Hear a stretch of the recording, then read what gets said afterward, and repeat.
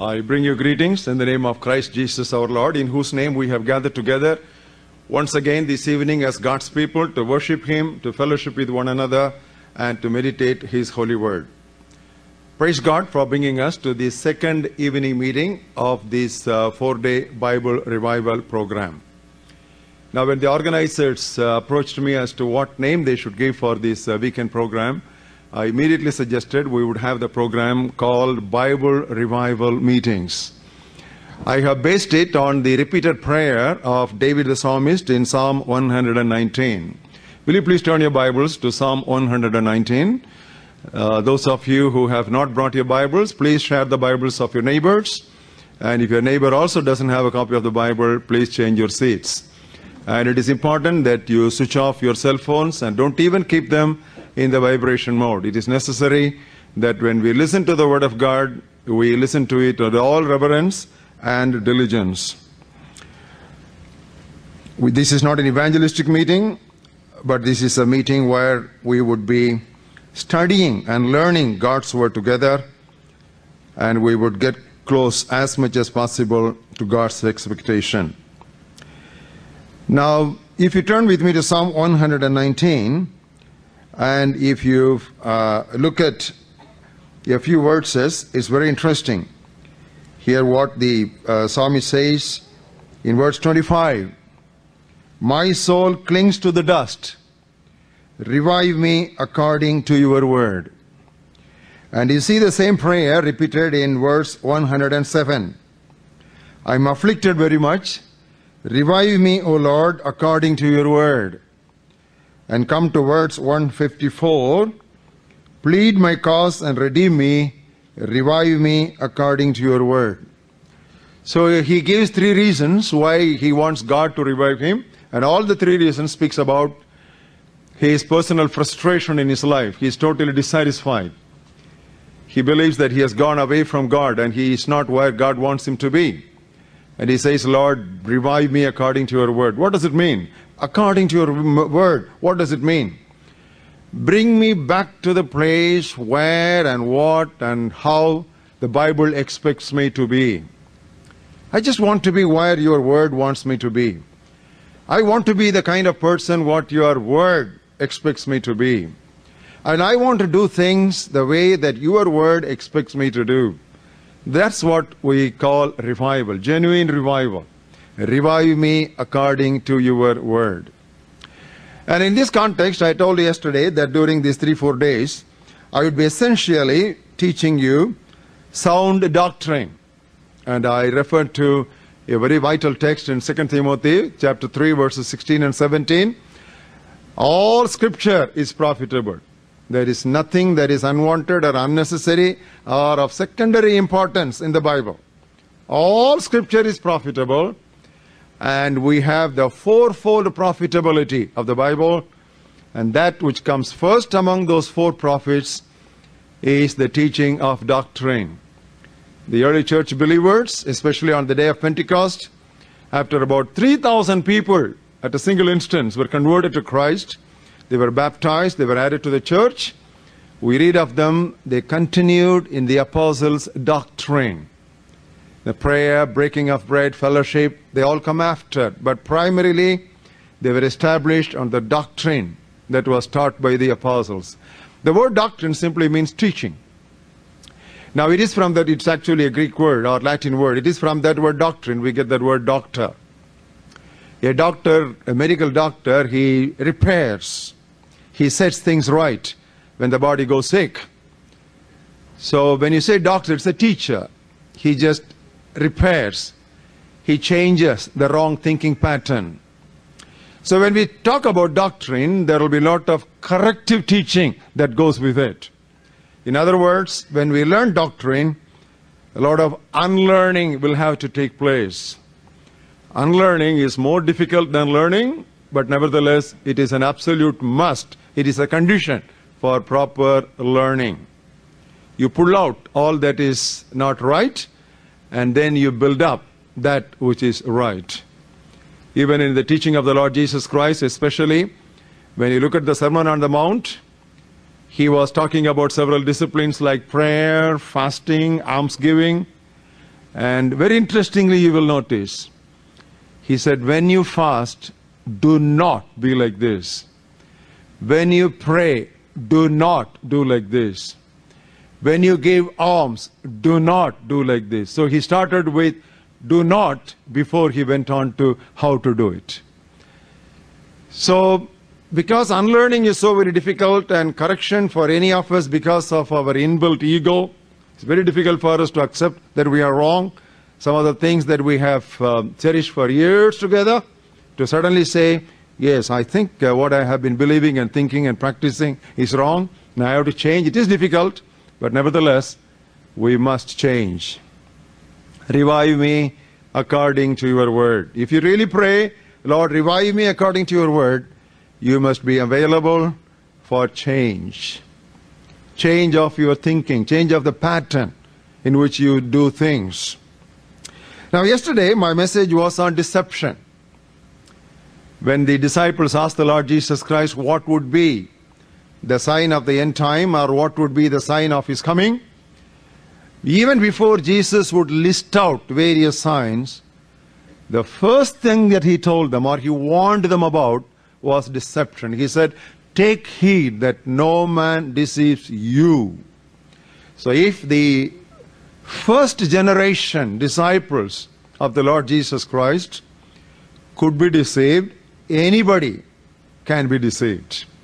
That's why the Bible says, even the very elect might be deceived. And the worst thing about deception is the deceived man does not know that he is deceived. That's deception. And it takes time for him to come to his senses. Because he has lost his senses, he has gone into a subtle trap. He is enslaved. He has gone into a snare. He is sedated. He is bewitched. Now, these are all words which are used for this deception in the New Testament. And various translations give various different words, but these are summarily what are normally presented. Now, when we talk about deception, I, you remember I referred to one important scripture text in 2 Corinthians. We'll begin with that for this evening's message. 2 Corinthians, 11th chapter. Look at verses 3 and 4. This was Paul's constant worry and anxiety about the churches which he planted. I fear lest somehow, as the serpent deceived Eve by his craftiness, so your minds might be corrupted from the simplicity that is in Christ. Simplicity that is in Christ. And he refers to what happened in the Garden of Eden. I told you yesterday now, whatever I'm telling now is for the sake of those who are not here yesterday so that you have the continuity. If in the Garden of Eden, where mankind had not succumbed to the first temptation and committed its first sin, if he could be deceived, we who are living in a sin toxic world can easily be deceived. Not to be deceived is more difficult than to be deceived. We need to understand that point. And he takes the audience, where he was writing the second epistle, back to the Garden of Eden. What happened in the Garden of Eden? How did Satan or the old serpent deceived that woman? Turn with me to Genesis second chapter. You might have read Genesis second and third chapter so often, but when we closely look at it again, there are certain things which we find we have not noticed. Genesis, second chapter, verses 16 and 17. The Lord God commanded the man, saying, Of every tree of the garden you may freely eat, but of the tree of the knowledge of good and evil you shall not eat, for in the day that you shall eat of it, you shall surely die. Now look at the quotation that comes in the third chapter. One is the quotation by Satan, and the other is the quotation in response by the woman. Now the serpent, look at the third chapter. The serpent was more cunning than any beast of the field which the Lord God had made. And he said to the woman, Has God indeed said, You shall not eat of every tree of the garden? And the woman said to the serpent, We may eat of the fruit of the trees of the garden, But of the fruit of the tree which is in the midst of the garden, God has said, You shall not eat, nor you shall touch it. Now, God never said, Don't touch it. So here comes the addition. In the very first quotation comes the addition. God simply said, Don't eat of it. But here the woman adds, God said, Don't even touch of it. And there God said, You shall surely die. But here the woman, she dilutes it and she says, Lest you die. Lest you die. Now that surety is no more there. And then the serpent said, You will not surely die. For God knows that in the day that you eat of it, you'll be like God, knowing good and evil. So you find three things have happened to the Word of God here. There was an addition to the Word of God, there was an alteration of the Word of God, and there was also an avoiding of a vital truth from the Word of God. Added, altered, and avoided. All in one stroke. So ultimately, it is how close we stay to the Word of God that we will be delivered or we will be saved. It's like a second salvation. Saved from deception. Now come to 2 Corinthians, and what is the first example? Paul searches for his deception. Keep 11th chapter of 2 Corinthians open. In the third verse, he speaks about your mind being corrupted and deceived. And then he gives an illustration in verse 4. For, you know, this is the reason why we should keep uh, some of the older translations. You know, that King James Version, the New King James Version, and some of these old translations keep the conjunctions and, for, but, then. Now that gives the connection. But some of the modern translations, they leave out the conjunctions. Once the conjunctions are left out, you won't be able to properly to, to, interpret the Bible contextually. So as much as you go to new translation, you should also hold on to old conservative translations where the conjunctions are kept. But, then, therefore, and, until, then.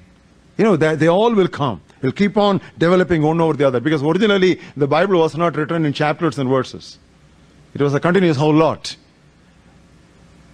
After many, many centuries, some church leaders, for convenience sake, for the congregations, to turn to the references, they divided the Bible into chapters and verses. So these uh, chapter divisions and verses can guide us, but they should not control our interpretation. So in order to do that, it is necessary that you keep some old translations also. Look here. I fear somehow your mind might be deceived or corrupted. And in verse 4 he says, because. So he develops the truth. Because. If he who comes preaches another Jesus whom you have not preached, or if you receive a different spirit which you have not received, or a different gospel which you have not accepted. It's very frightening, isn't it? Another Jesus, different gospel. Now, that's the message I'm going to preach to you during the next 90 minutes before us. Another gospel. A different Jesus. At the very outset, I want to make a very daring statement, but that's a truthful statement. Over 75% of what goes in the name of the gospel through media today is not the biblical gospel, it is another gospel. It is a different Jesus. It is another Jesus. It is not that old carpenter Jesus of Nazareth. It's another Jesus, and it is another gospel. Now, the same concern Paul carried when he was writing to the Galatian church also. Galatians, first chapter, I will read to you verses 6 to 9.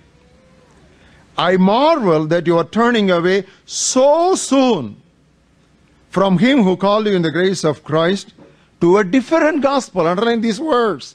Different gospel. These are not words invented by a modern preacher. They are already there. So soon you are moved into a different gospel, which is not strictly another, but there are some who trouble you and want to pervert the gospel of Christ, distort. Distortion. How does distortion comes? By altering, by avoiding, and by adding. That's the distortion. That's why I gave you the background of what happened in the Garden of Eden. And then Apostle Paul goes on to say, But even if we are an angel from heaven preach any other gospel than what we have already preached to you, let him be accursed. Why does he say, even if we? The possibility of preachers getting backslidden. So Paul includes himself. He said, it's likely that I myself, Paul, also might backslide, depending upon the trend of the uh, season, trend of the world, and depend, depending upon the consumer demand of the church. I myself might change my message. And even if I change that message, don't accept it. And then he says, even if an angel from heaven appears. Now I want to give you some uh, mental picture. Now we are about 100, 150 people who are gathered here from various congregations. We are very enlightened people. And as we are seated here, suddenly an angel appears from heaven. Let's imagine. I don't think any one of us have seen an angel with a naked eye. Suppose an angel from heaven appears. I think every one of us will be literally flat. Or we'll stand up and we'll get so excited. We'll forget everything else. No, no, no, here's an angel. And even if the angel says something which is different from what is recorded for us as taught by the apostles, let him be cursed. Let him be anathema. He doesn't say it once. And he says again in the ninth verse, As we have said before, so now I say again, you know, it is in your Bible. As we have said before, so now I say again, if anyone preaches any other gospel to you than what you have already received, let him be accursed. No allowance whatsoever. You can't just put up with that. It's not broad mindedness. Remember, Broadway leads to hell. It's not broad mindedness. And it is not narrow mindedness either. It is just Christ mindedness and scripture mindedness. Another gospel. When you come to book of Jude, how many chapters are there in book of Jude? Huh? How many chapters? Only one chapter. It's a single chapter epistle. But a tremendous epistle. That man Jude, I imagine, took up his pen or whatever writing instrument he had in his time. And he wanted to write an epistle. And when he wanted to write something, suddenly the Spirit of the Lord burdened him to write something else. Turn to the book of Jude and look at the third verse. Beloved, while I was very diligent to write to you concerning our common salvation. You know, common salvation, the blessings of salvation, and uh, you know what uh, Christ has done for us, and all that kind of stuff. And I just wanted to write about that common salvation. Suddenly it occurred to me, I found it necessary to write to you, exhorting you to fight earnestly for the faith which was once and for all delivered to the saints. Actually, what I wanted to do was a simple exposition of the gospel and the blessings of the gospel and the salvation of the Lord Jesus Christ. But when I took up the paper and pen and sat down on my study to write, the Spirit of the Lord reminded me and He just impressed upon me and burdened me. You better warn the people against deception and deviation. I bring in another word this evening. Yesterday, I very many times used the word deception. Now I introduce another word deviation. And if there is the slightest deviation that is noticed anywhere, fight earnestly for the faith, not which was delivered to the saints, which was once for all delivered to the saints. In other words, revelation is complete. Which was once and for all delivered to the saints. Fight. Are you a Protestant? Who is a Protestant? A Protestant is one who protests anything that is contrary to God's word. I don't know about you, I am a Protestant. If you don't protest anything that is contrary to God's word, you are not a Protestant, you are a juiceless non Catholic. Let me make that statement again. Are you a Protestant or just a non Catholic? As for me, I am a Protestant. I protest anything that is contrary to God's word. If someone that day did not take up the book of Romans in his hand and shout that it is not by works but by faith and grace of the Lord Jesus Christ alone a man can be saved, you and I will not have the book, the book of God, the Bible in our hands. At that time, everybody called that man as a heretic, as an eccentric. It's better to be an eccentric than being a neutral person. In neutral gear, you don't go anywhere, you know that. The only thing that is possible in a neutral gear is that you will backslide if the slope is downward. Contend for the faith which was once and for all delivered to the saints. In order that I break or end your suspense too long, let me just speak to you plainly as to what I'm going to talk to you today about. The another gospel that I have in mind, which I'm referring to, is the so called prosperity gospel. That health and wealth gospel, that name it, claim it gospel. That gospel that all the time promises blessings, blessings, blessings. All the time concerned about belly and the material blessings. My approach today will be slightly different from what I did yesterday. I am going to tackle some of the very favorite scripture texts which are frequently and very often quoted by these prosperity preachers, one by one. To start with, turn with me to 2 Corinthians 8th chapter. I don't want you to just receive all that I have said and swallow it. But I want you to be like Bereans. Don't be like Thessalonians who just receive the word joyfully.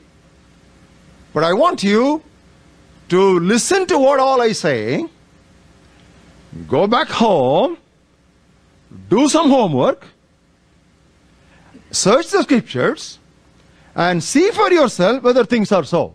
Only then you'll be more noble minded.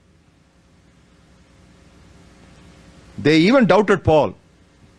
Who was the preacher? Paul was the preacher. Did the Bereans simply swallow whatever Paul taught? No.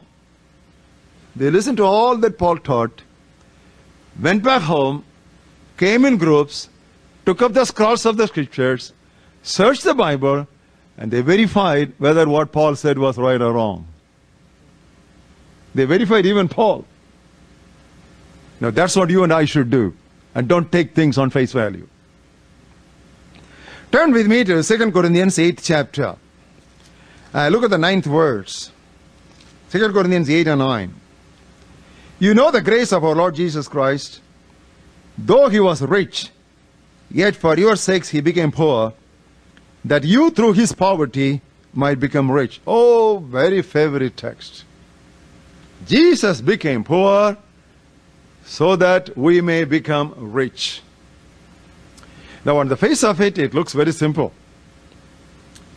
But you need to ask some questions. When was Jesus materially rich?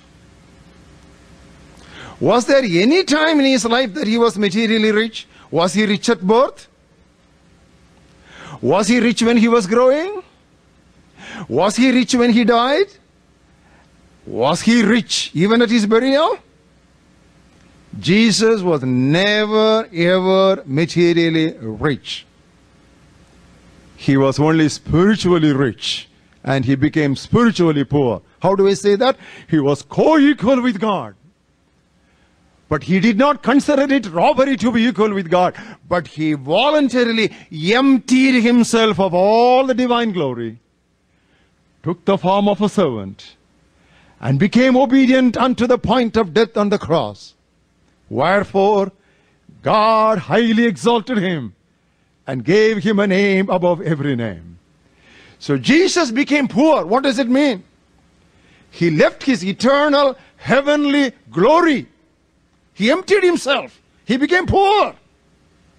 So that you and I today can be exalted to the heavenly places and blessed with all spiritual blessings in heavenly places with Jesus Christ. Amen. You see how easily, if you don't think, you will be cheated. So Jesus left the spiritual glory to take the form of this flesh and blood. As an ordinary human being, the Son of God became the Son of Man. So that you and I can become the children of God. He became poor so that you and I can become rich. In the same epistle, 2 Corinthians, otherwise, in the sixth chapter, uh, look at the tenth verse. Paul was talking on behalf of all the apostles of his time. He said, We are still poor, but we are making other people rich. We are poor, but we are making other people rich. Financially, we are poor, but we are making other people rich in their faith. We don't mind going through this difficult situation. You know, in the Old Testament, it was all material blessing. How will you know how far a person is blessed? How many camels he has got? How many donkeys he has got? You know, they'll count the camels and donkeys. That's the Old Testament. But as you come to the New Testament, you know, the testamental difference should be clearly understood. The Old Testament, it was all material blessing, essentially. But as you move on to the New Testament, as you look at Ephesians first chapter, third verse, he has blessed us with all, all spiritual. Underline that word spiritual. Underline that underline and underline that underlined underline. All spiritual blessing. The strong shift comes here. Poor materially, but we're making others rich. There is another text which is very frequently quoted by the proponents of the prosperity message. Philippians 4th chapter. I look at the 19th verse. Mm-hmm. My God shall supply all your need according to his riches in glory by Christ Jesus. He doesn't say, My God shall supply all your wants, but it says, My God shall supply all your need. There's a difference between what you want and what you need, isn't it? Everybody wants three cars, everybody wants three houses. That is what we want. But God has never said, I will give you all that you want. But God has simply said, I will give you what you need. You know, when you interpret the Bible, you should be very careful because Bible is verbally inspired. This is where we need to also check with other translations, parallel translations, especially for these key words. Because most of us don't have an access to Greek or Hebrew. Now, I never had the privilege of studying Greek or Hebrew. So the nearest thing I can do is to keep as many translations as possible. I use about 50 or 55 translations in my study of the Bible. And especially where there are key texts, I try to refer all of them because I don't want to miss out on these vital, pivotal key texts. My God shall supply all your need. Now, why did Apostle Paul make that statement? Look at verse 16. This church, compared to any other church, look at verse 15. You Philippians, you know that in the beginning of the gospel, that is when I started my missionary journey, when I departed from Macedonia, no church shared with me concerning giving and receiving, but you only. There are so many churches. I was a blessing to so many churches. But when I set out on a missionary journey, other churches simply said, God bless you, brother, we'll be praying for you. Praise the Lord. They did not give a check. But you Philippians, when other churches did not give me anything tangible, you only helped me. You only gave me some tangible help. And he says in verse 16, this is a history. Even in Thessalonica, you sent aid once and again for my necessities. The word necessities. I was in need of daily bread. I was in need of some minimum clothing. Even that the churches did not do for me. They received the blessings, but they never reciprocated the blessings. But you people, the Philippian church, you sent me blessing so many times. You sent me material blessings for my necessities. Not for my luxurious needs, but my necessities. Because you took care of my necessities, look at verse 19. You know how it begins? It does not say, My God shall supply, it says, And my God shall supply. You took care of my needs, and therefore my God shall take care of your needs. Are you able to see the logic? This is how you have to study the Bible. This is what I mean by contextual interpretation of the Bible. Never take a text out of context. If you take a text out of context, that text becomes a pretext. Keep every text in the context and interpret it. Go for a few verses before and a few verses after. Four, five verses that side and four, five verses this side. Then you understand a picture. That's contextual interpretation. Otherwise, the whole thing will go topsy-turvy. You'll be still using the scriptures, but you will be off tangent. My God shall supply all your need. In other words, even this promise was given to a church which excelled other churches in missionary giving.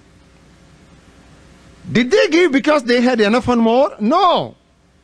Come with me to Second Corinthians.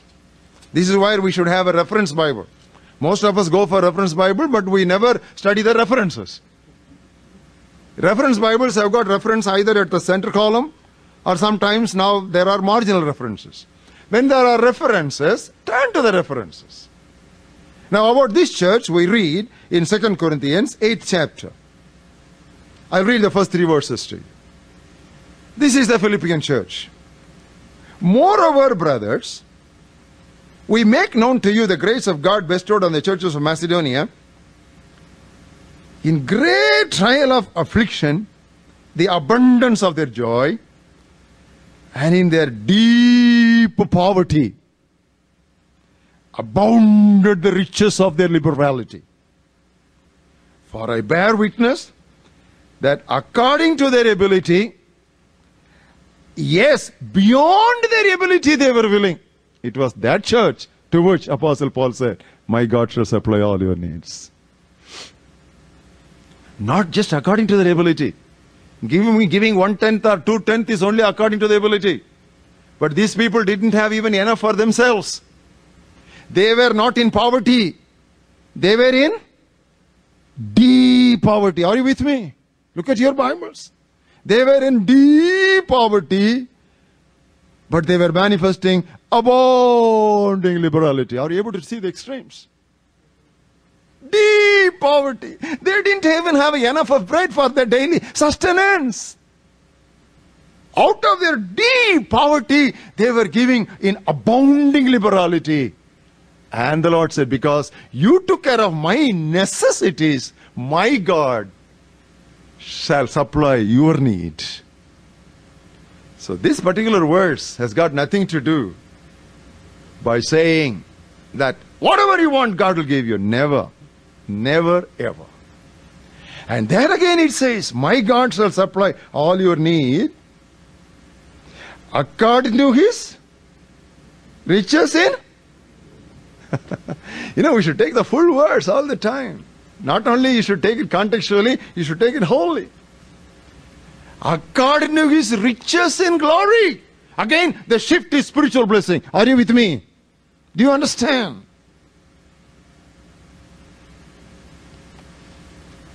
And there is another text that is very frequently quoted to entice God's people and milk money from them.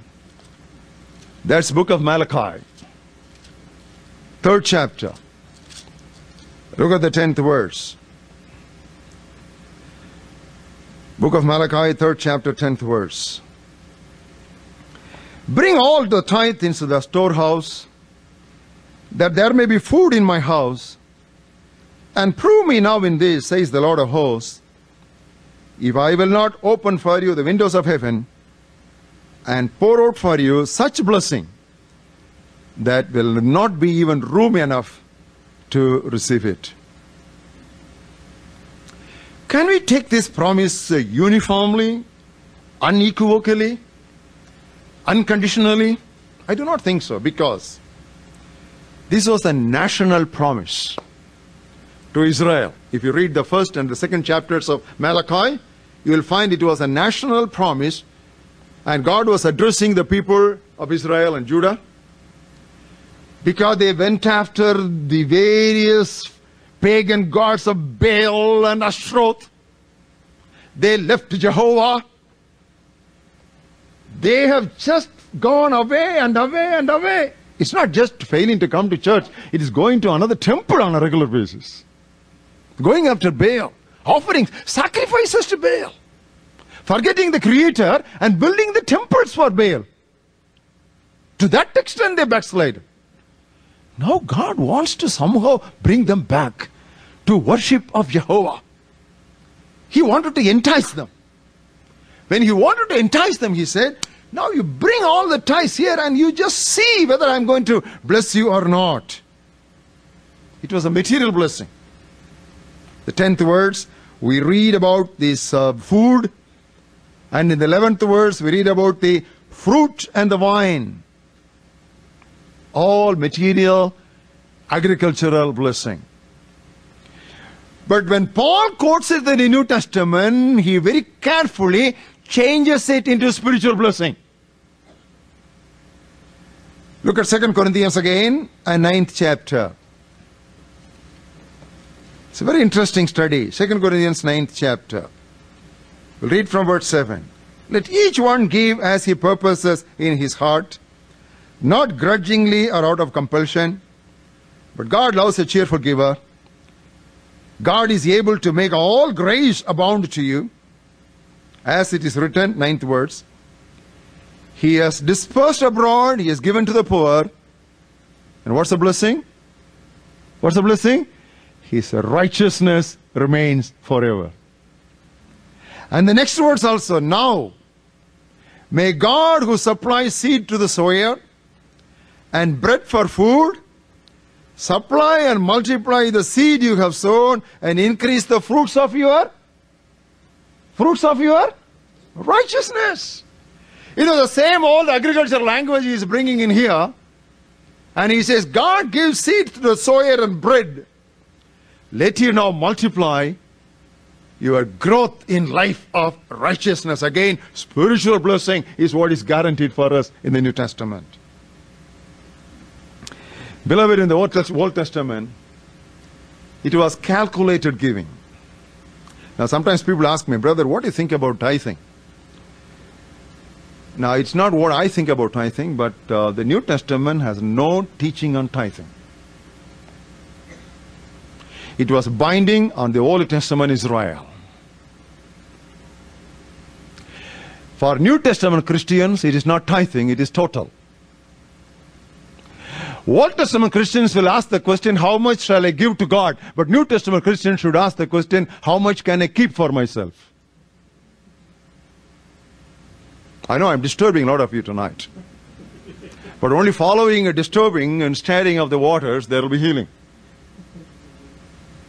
So some disturbances are helpful. Deep poverty, abounding liberality. You have only two coins. One coin for the offering and other coin for your bus fare return home.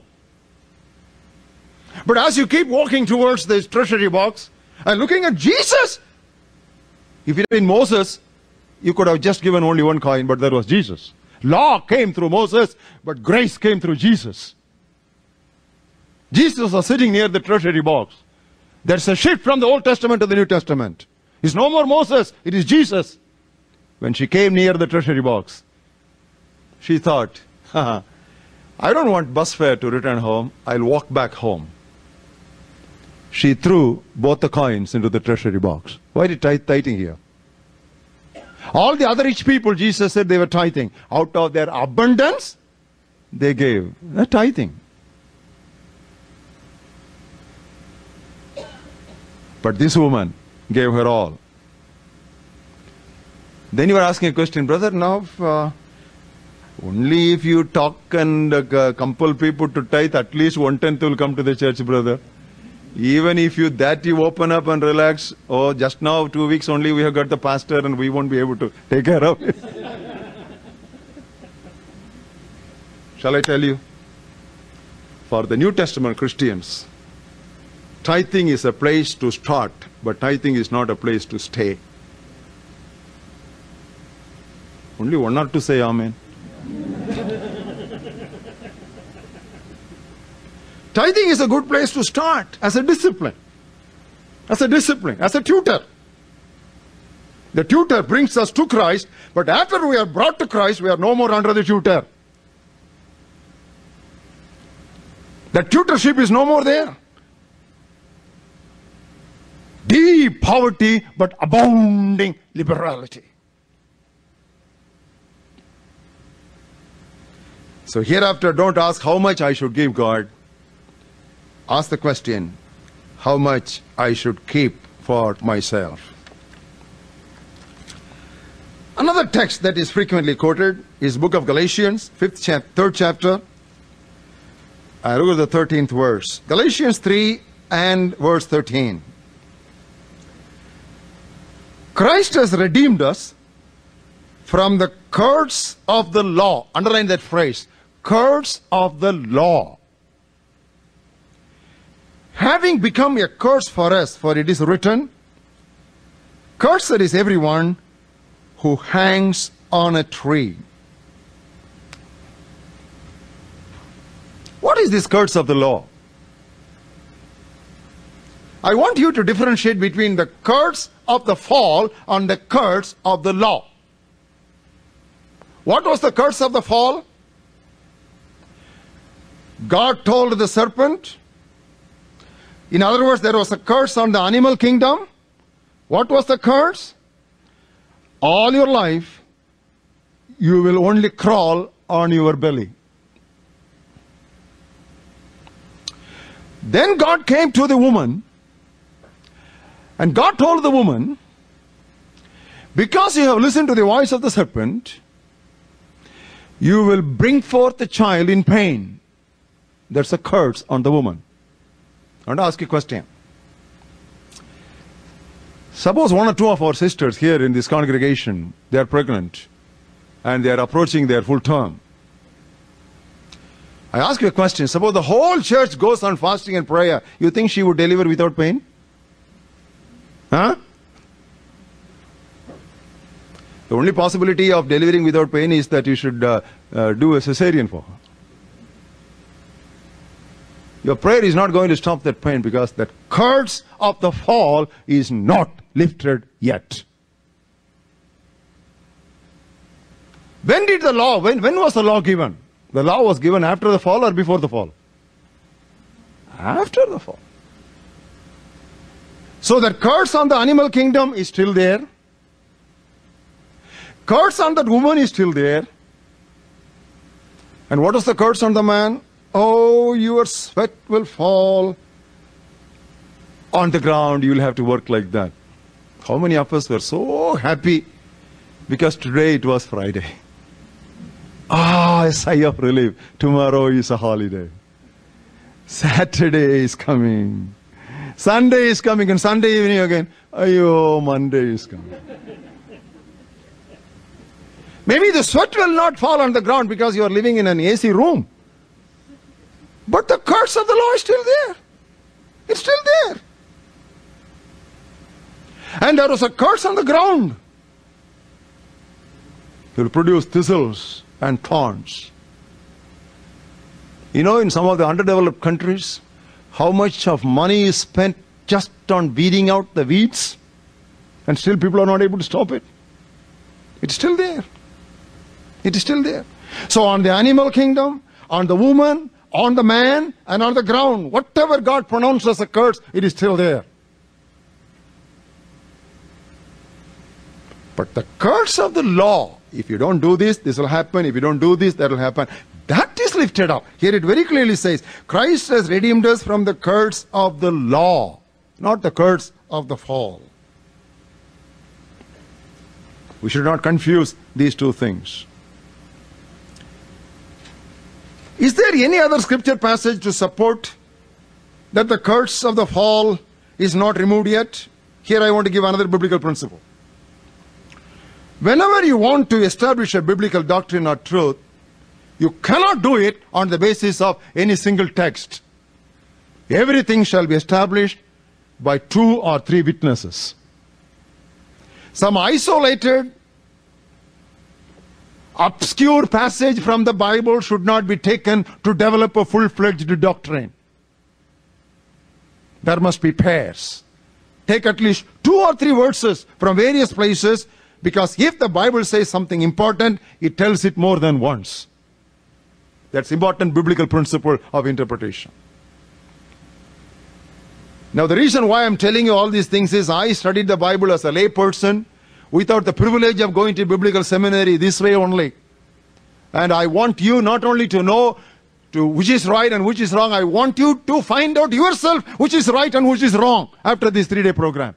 I want to train your mind. I want to train your capacity of discernment.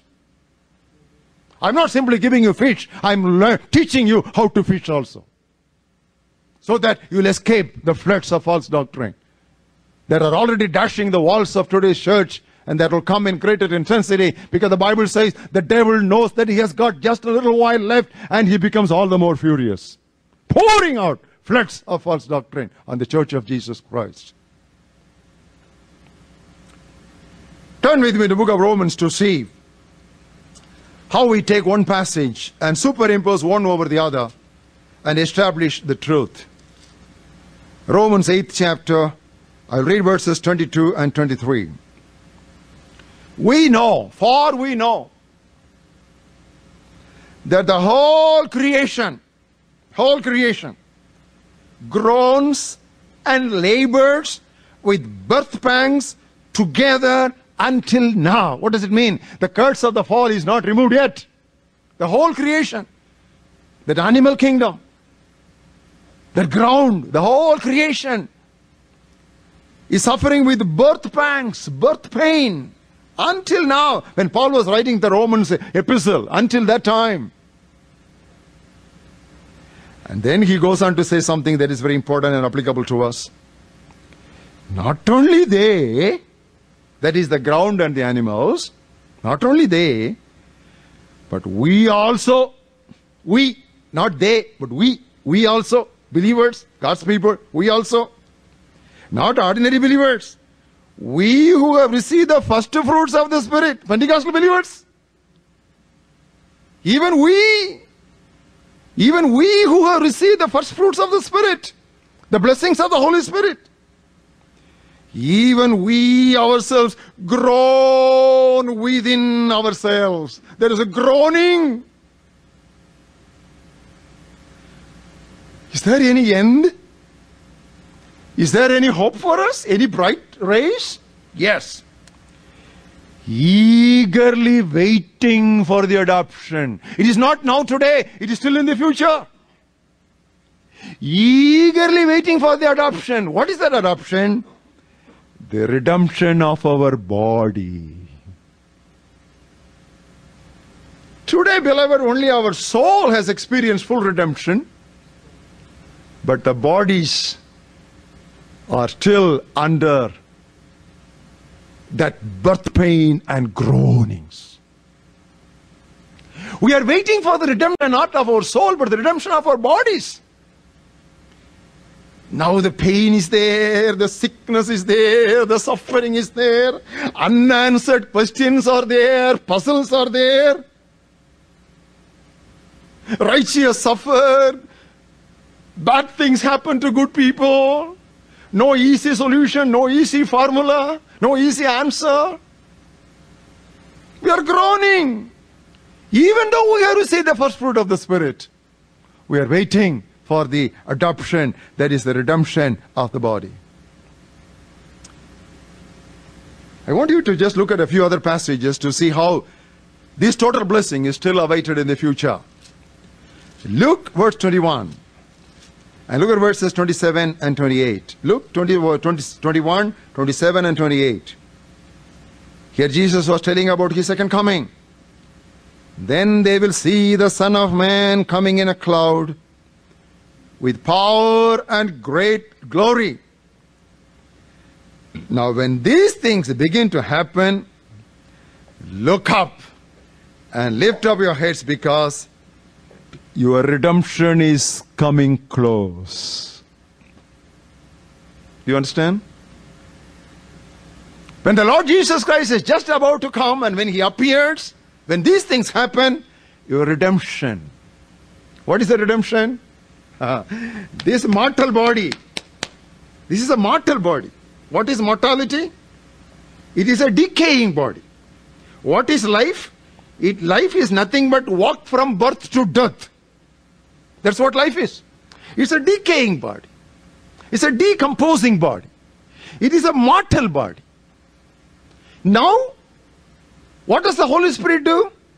He quickens our mortal body. What is the meaning of the word quicken? He kicks us up. Before it goes to grave too soon, it kicks us up. Which means you have not received the full fruits, you have experienced only the first fruits of the Spirit. You must differentiate between first fruits and final fruits. Fuller fruits. We have experienced only the first fruits. The fuller fruits, the final fruits are still awaited in the future. That's why while Paul was writing the Ephesians first chapter, I'm, I'm going to give you a graphic picture. You'll understand it better. Ephesians first chapter, verses 13 and 14. In him you also trusted after you heard the word of truth, the gospel of your salvation, in whom also having believed, you were sealed with the Holy Spirit of promise. Now look at these words. You were sealed, sealed. You know, you know, I don't know what, what you say in Malayalam, but in Tamil they say, chapa kutru. You know that? You're sealed, stamped with the Holy Spirit of promise. For what? Look at verse 14. Who is the guarantee of our inheritance until the redemption of the purchased possession. Now it is purchased, but it is not redeemed. You know what language it is? It is a carpenter's language. I will explain to you, then you'll understand. There's a carpenter.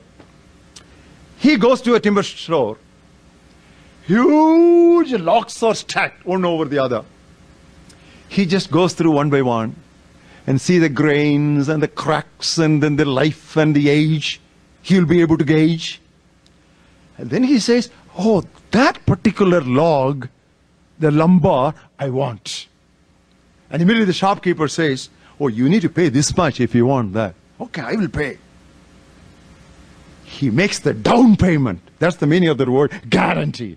In some translations, in NIV, I think it is used the word down payment. So the down payment is given.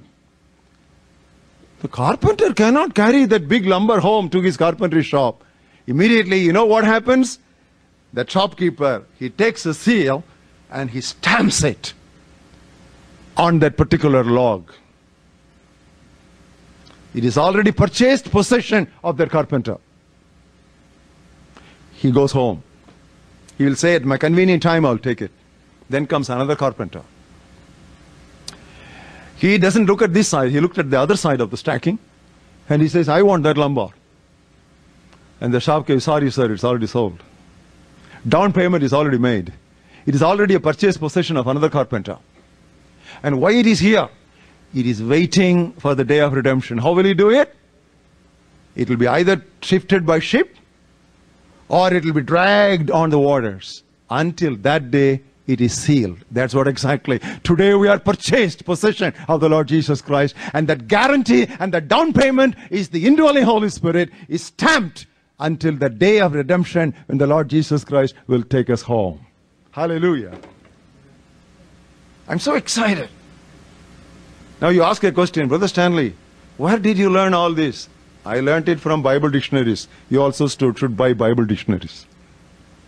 Study Bible dictionaries. Bible dictionaries give you a background of each of these verses in the Bible. Because these are all various languages. Sports language, carpentry language, fishing language, agricultural language, military language. You know, it is all written in that perspective. So now we are sealed with the Holy Spirit of promise until the day of redemption. That is the final day. That's what we read in book of Hebrews also. I know I am dealing with a very vital truth. If you understand this truth, many of your questions will be solved. Why, Lord? Why am I not healed yet? Everybody is praying, but I am getting worse. Some people are healed, but many people are not healed. Why, Lord? Many of you are going through a time of dissolution. And you will find answer to your questions when you understand this doctrinal exposition. Hebrews 9th chapter. Look at verses 27 and 28. It is appointed unto men once to die, but after this the judgment. So Christ was offered once to bear the sins of many. To those who eagerly wait for him, he will appear a second time apart from sin for salvation.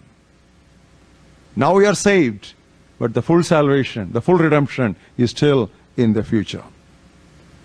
A day will come when you come to book of Revelation 21st chapter. Look at the fourth words. Every time I read that words, I shout hallelujah in my spirit. And my spirit begins to dance within me because that's what keeps me positive all the time. Optimistic. Revelation 21st chapter. God will wipe away every tear from their eyes. God will.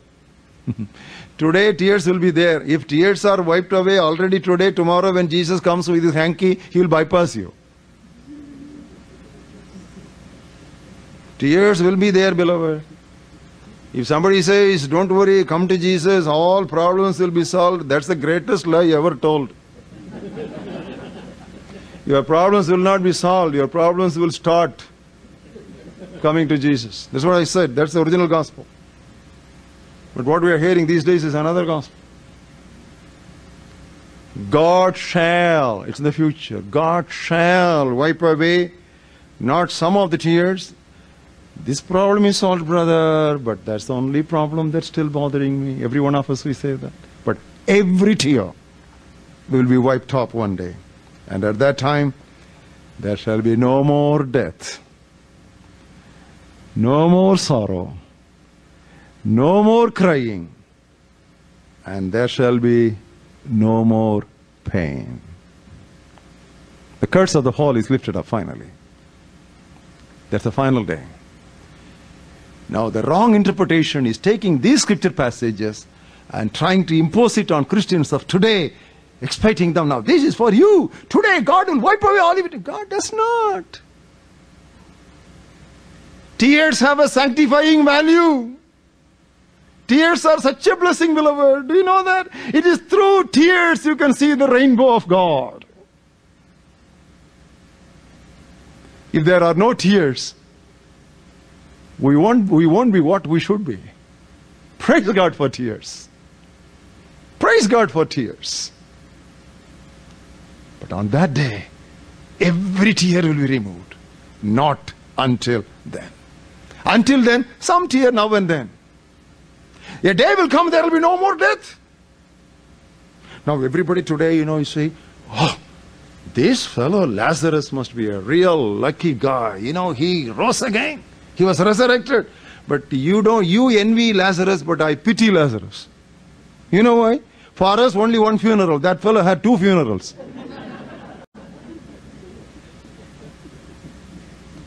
Do you know Lazarus died again? And did Jesus again perform a miracle? No. That was just a sampling to show his power over death. That was not a regular thing.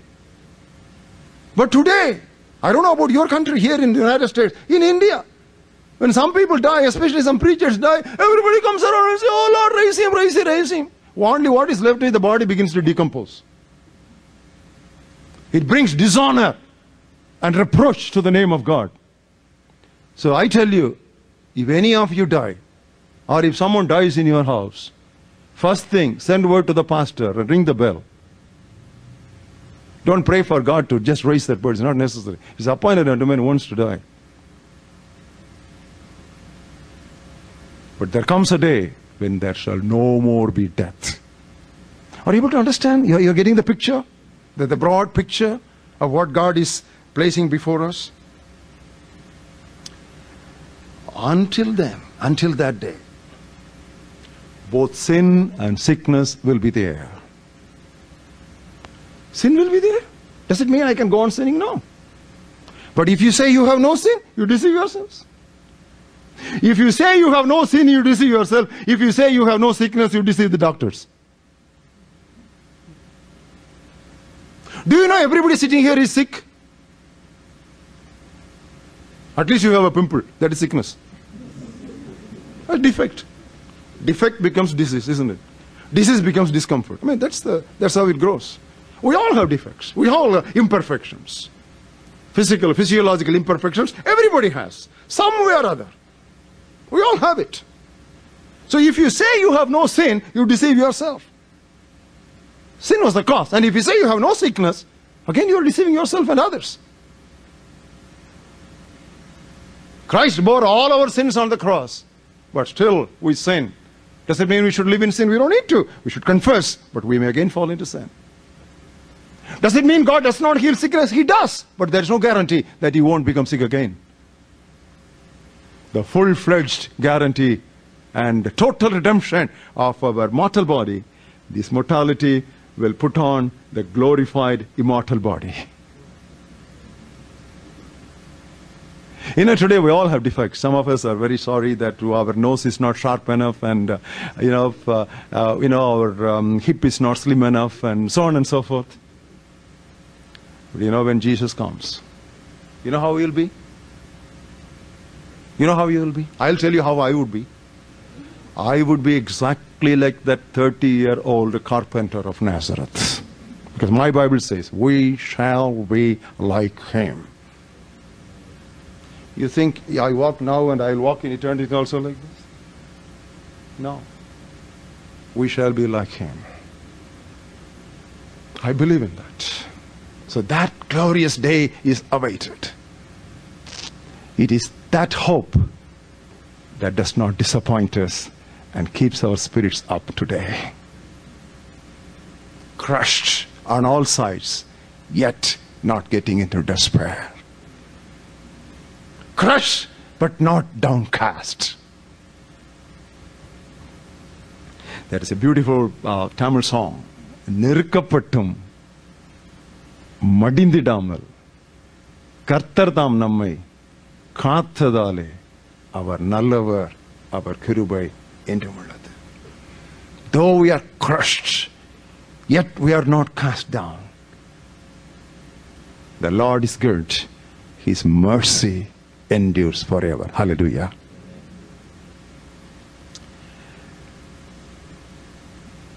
Being poor is not a curse. Poverty is not a curse. A simple illustration.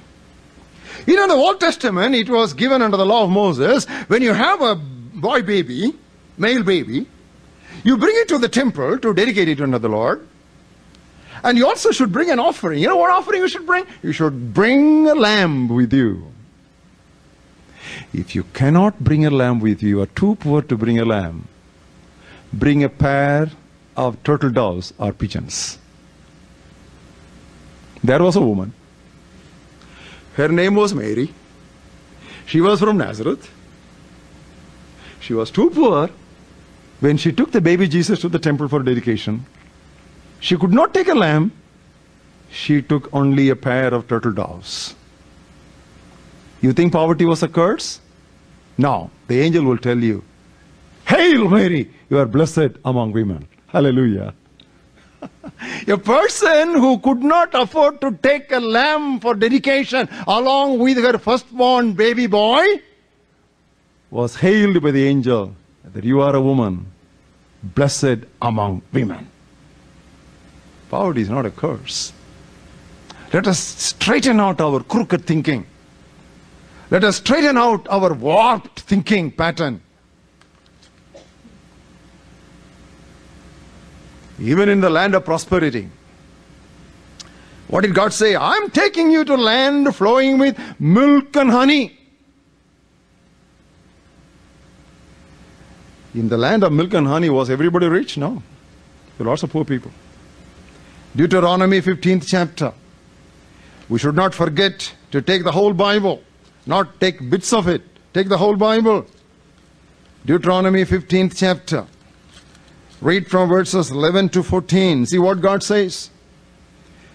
The poor will never cease from the land. Come on. Is this not a land flowing with milk and honey? Of course, yes. But not everybody will have enough. Some will have enough, many will not have. The poor will never cease from the land. Therefore, I command you, saying, You shall open your hand wide to your brother, to the poor, to the needy in your land. If your brother, a Hebrew man or a Hebrew woman, it is not speaking about the heathen man or the pagan man, your own brother and sister. That's within the people of God. So that means within the church, there can be people who are poor, and you are supposed to help them. I always have a question. Sometimes people say, Poverty, it is a curse from God. Never make that statement. You are despising the Creator God. He who speaks such things against the poor people is despising the Creator God.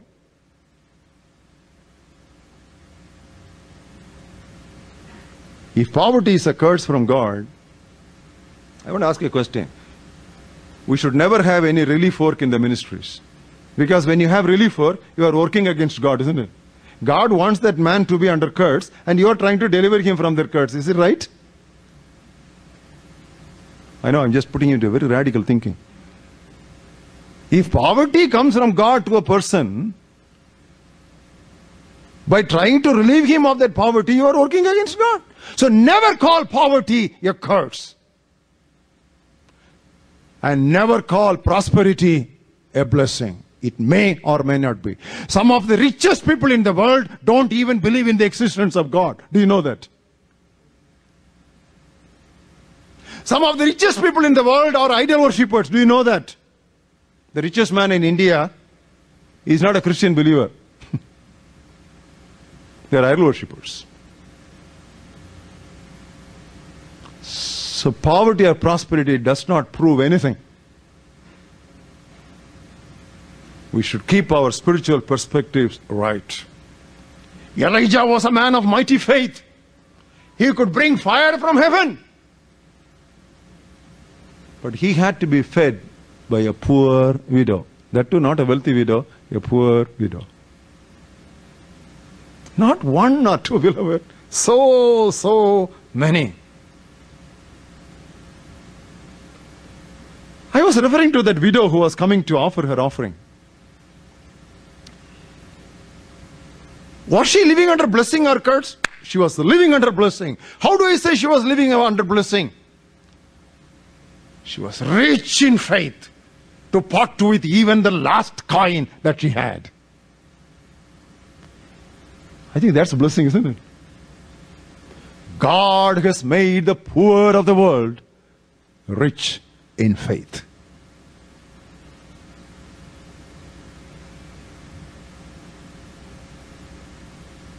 I want you to think and change your pattern this evening.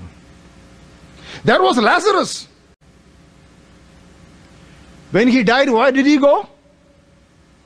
To the bosom of Abraham. But how was he on this earth?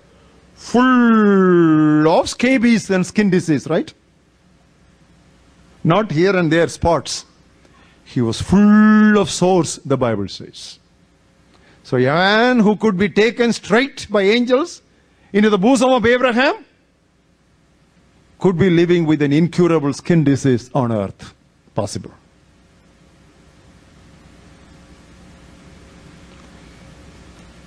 Apostle Paul had a thorn in his flesh.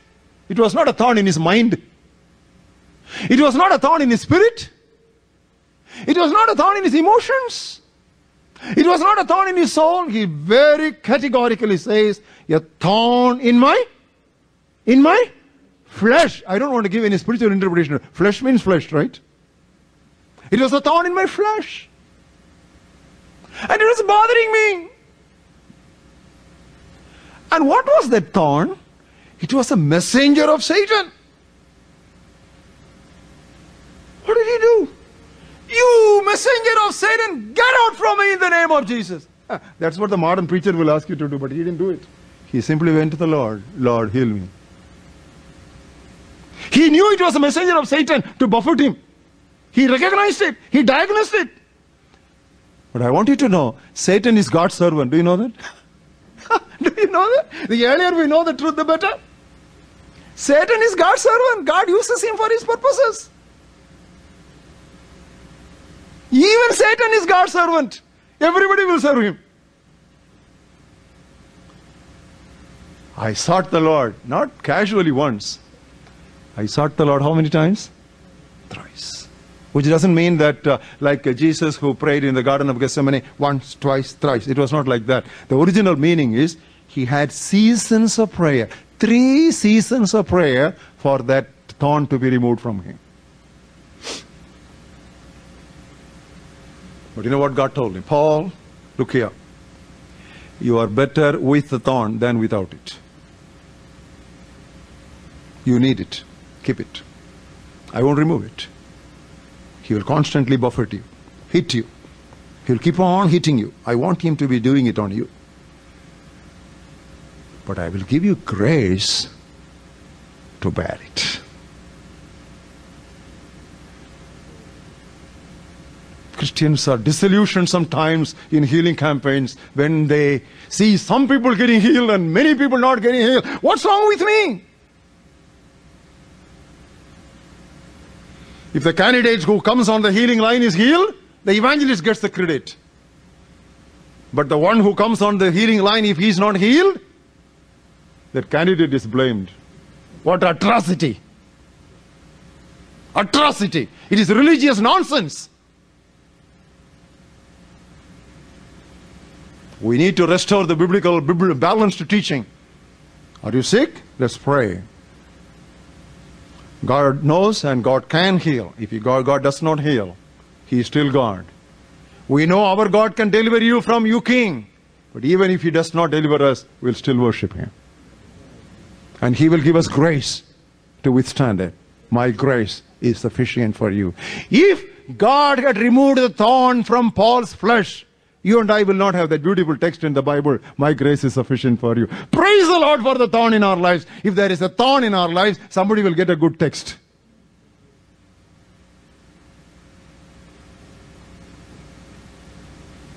I have thorn in my flesh. You do not know how many diseases I am suffering from. I have throat problem. Just recently, the doctors told me in the CMC hospital, if I continue to preach like that, I may permanently and totally lose my voice. Nevertheless, I've taken a risk and I have come here. That's why I'm keeping a glass of water here. I have a problem. I thought till I lose my voice, I'll continue to preach. Because I've been preaching all my life. There's a problem with my vocal cords. I'm a heart patient on strict medication. They told me I would be all right for 12, 13, 14 years at the maximum. 12 years already over. Not out yet.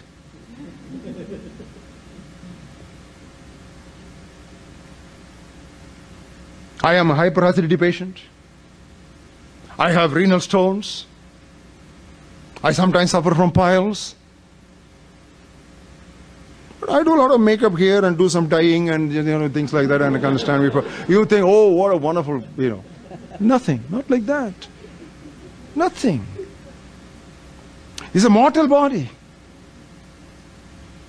In this earthen vessel, we are carrying the precious glory of God, the treasures of heaven. You take that out, this is nothing. I'm here because of the old Bible that I have in my hand. My mommy told me years, years ago when I was a teenager, when I was hesitating to carry the Bible to the church, because those days Bibles were pretty big, too heavy. I was taking the songbook, but I didn't take the Bible. I said, Mommy, Bible is too big. And she said, You carry the Bible today, the Bible will carry you tomorrow. And that was prophecy for my life. I started carrying the Bible from the time I was 12. And the Bible is today carrying me. It is the Bible, not the aeroplane, which brought me here. I stand here as a testimony. My grace is sufficient for you, and my strength will be made perfect in your weakness. which means your weakness will still be there, but my strength will enable you to put up with that weakness. That's what it means.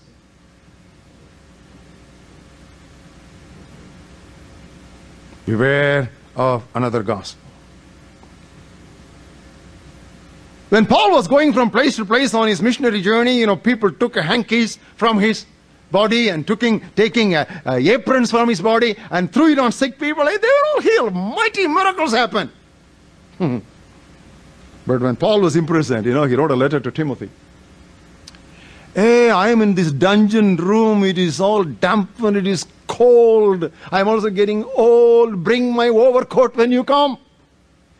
Fellow Timothy, he took the overcoat on his back and he brought it all the way to give it to that prisoner who was under arrest, house arrest, to Paul. Hmm. Even hankies and bits of cloth from Paul's body healed people. But the entire overcoat what Timothy was bringing could not heal the stomach ailment of Timothy. How many times Paul would have prayed for him? Then finally Paul said, Hey, your stomach problem doesn't seem to be solved. I'll tell you one thing. You take some medicine.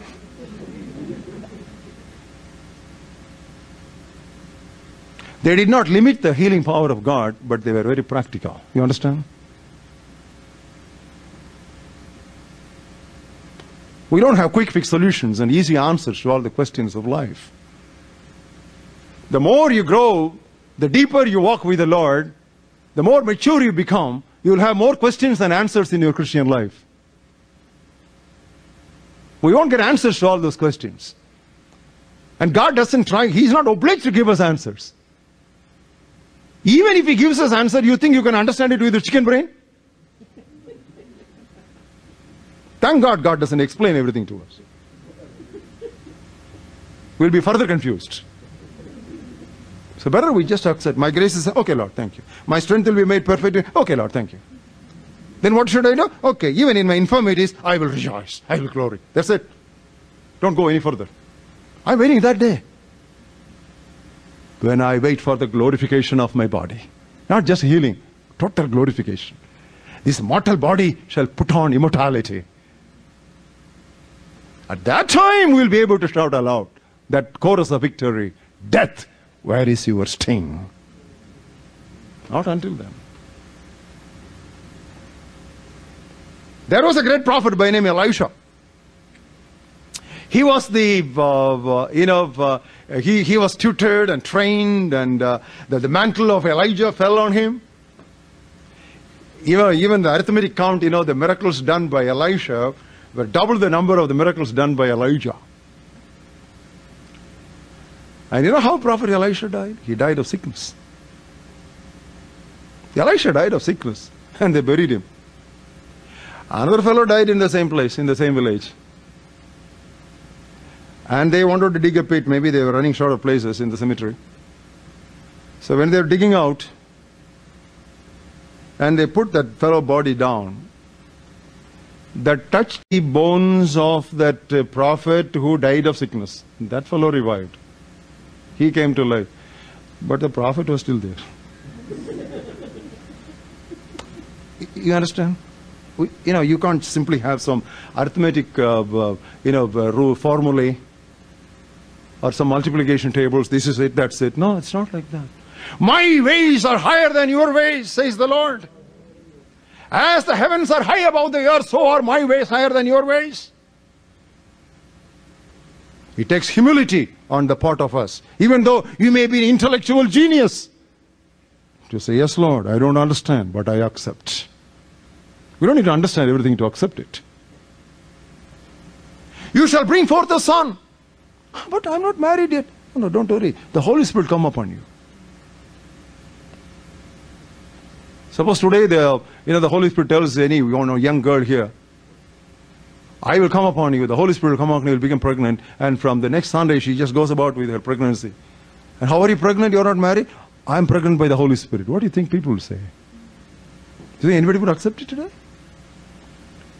Even though there was a president at that time, nobody will accept it today, but at that day there was no president. You think Mary understood whatever the angel said? Mary did not understand what the angel said, but Mary accepted what the angel said. In Christian life, it is not understanding, but acceptance that comes first. It is not head to heart, it is heart to head. God kept two trees, important trees. One is the tree of knowledge, and the other is the tree of life. God never said, Don't touch the tree of life. God simply said, Don't eat of the tree of knowledge. They could have easily touched the tree of life and they could have eaten that fruit. But man chose knowledge over life. That's always the mistake of man. He wants to fill his head before he can warm his heart. But God wants him to first fill his heart before he can think of his head. If mankind had taken and plucked the fruit of the tree of life, when God came in that evening, he could have given him the tree of knowledge again. But after taking knowledge, you don't need life. Only after taking life, you need knowledge. It's an important truth that we should understand. So in Christian life, when God says it, I believe it. When I believe it, that settles it. I don't need further explanation. Because it is the very word of God. But when there will be new heaven and new earth, these things will change. You know the problem with most of the prosperity preaching that we have these days? The benefits of the cross are blown up, but the demands of the cross are downplayed. Follow me carefully. The benefits and blessings of the cross are highly projected, both underhead and overhead. But the demands of the cross are downplayed, not at all projected. That is why in prosperity preaching, the doctrine of sacrifice, suffering, giving up, living without, undergoing problems, they don't figure out. You know what they say? Christ went to the cross and suffered for us, so we need not suffer. But the Bible says in book of Luke 9th chapter, turn with me to Luke's gospel, and look at the 9th chapter. Everybody turn to the Bible, don't become tired. If anybody should become tired, I should become tired, not you who are simply seated there. Luke's gospel 9th chapter, and verse 22. Jesus said, The Son of Man must suffer many things and be rejected by the elders and chief priests and scribes and be killed and be raised to the third day. That's very good, yes. Jesus came to die. He didn't come to live, he came to die and give his life as a ransom for many. That's all good. If the Bible stops with the 22nd verse, it's good. But you should also move to verse 23. Then he said to them all. You know, I referred to contextual interpretation. Jesus said, The Son of Man must suffer many things and he must die. He didn't stop there. Having said about himself, then he said to all, all includes everybody. If anyone desires to come after me, ah, you please read it for me. Let him deny himself. Take up his cross occasionally? No, take up his cross daily and follow me. So if somebody says Jesus went to the cross so you don't need to suffer, nonsense. That's blasphemy. That's what Apostle Paul said. Anathema! That is another gospel. Jesus said, I must suffer. Having said it, he turned to all of them who were listening to them and said, If anyone would follow me, let him take up his cross, deny himself, and die daily and follow me.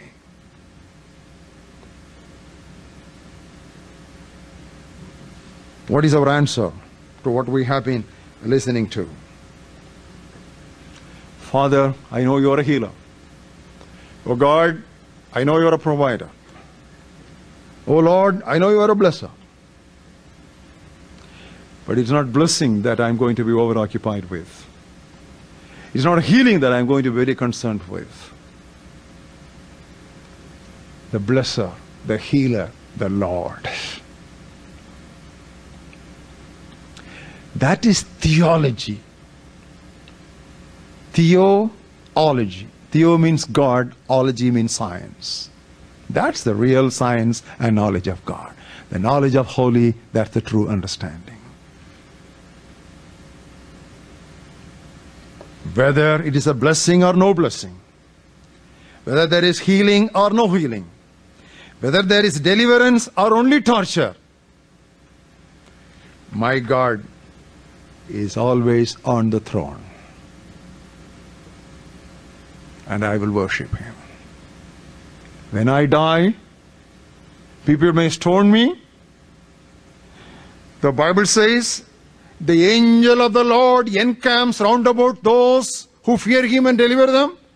But that day when Stephen was stoned, where did all the angels go?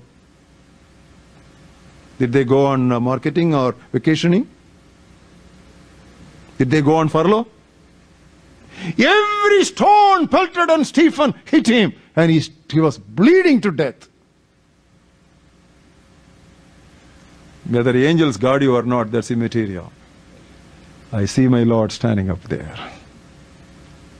His face was shining like the face of an angel. You can't imagine a person who was bleeding all over and face, you know, even if a small finger is cut, we bother everybody at home. Small finger. You should see your face when you have a small cut. The real face is only there. But that day the fellow was bleeding all over. But his face was like the face of an angel. My strength will be made perfect in your weakness. So I will rejoice more in my weaknesses, that the power of God may be manifested. Shall we all stand up in the presence of God? Eyes closed and heads bowed down, and hearts lifted up in humble adoration and worship because He is Lord.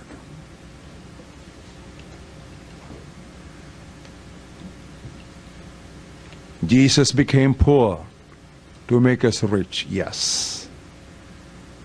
Though he was equal with God, he considered it not a robbery or something to be grasped. But he humbled himself. Nobody humiliated him. He humbled himself, voluntarily. He emptied himself. That was again voluntary.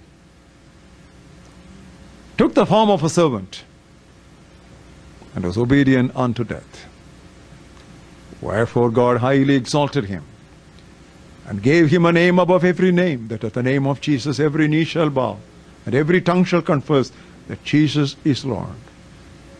And blessed be the name of the Lord God, who has blessed us in heavenly places with all spiritual blessings in Jesus Christ. Gracious Heavenly Father, we thank you for your gospel. We thank you for your holy word. Thank you for the rebuke and correction that came to us tonight. Help us, O God, to stay in this biblical understanding with a proper perspective and not get distorted or deviated and finally deceived. Thank you for your Holy Spirit, through whose help alone we could understand your word. I pray for all those who have come here this evening with lots of questions. Why my prayer for this pro- problem is not solved yet or not answered yet? Why I'm not healed yet? So many people have prayed once, twice, thrice, but I'm not healed yet. If God wants to heal me, He knows how to he- heal me and when. But whether He heals me or not, that's immaterial. I have the assurance that the Holy Spirit is given as a down payment and I am stamped for eternity. Everybody say hallelujah. In Jesus' name we pray. Amen.